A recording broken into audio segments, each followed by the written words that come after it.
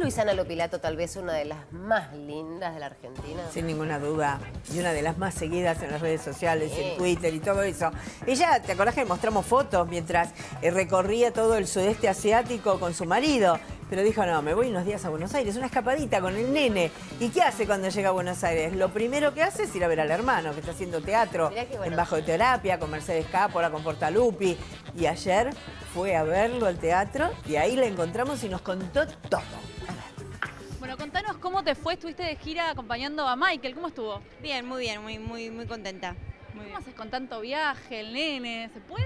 Sí, claro que se puede, se puede. Hay que, hay que armarlo nada más y sale bien. Vine por trabajo y bueno, nada, tengo así que trabajar unos días y quedarme, saludar amigos, a familia, disfrutar y bueno, eh, con nuevos proyectos, leyendo películas para el año que viene. Así que nada, eso. Hay una peli con Esbaraglia, ¿puede ser? Sí, para, para finales de este año o principios del año que viene. ¿Tenés ganas de volver a ser mamá? ¿Lo pensaron? Me encantaría, me encantaría, pero bueno, nada, por ahora no hay novedades. Pero lo, tienen- lo están pensando. Sí, sí, claro, claro. ¿Para este año, para el año que viene? Y esas cosas no se planean, viste que cuando viene, viene.